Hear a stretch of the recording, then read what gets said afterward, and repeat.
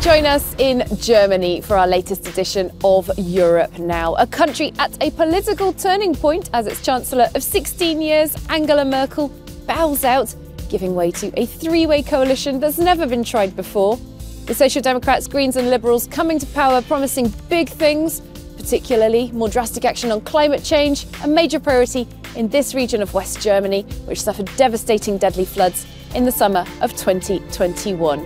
Join us in Germany on Europe Now as we explore those and other big issues for this country in the years to come.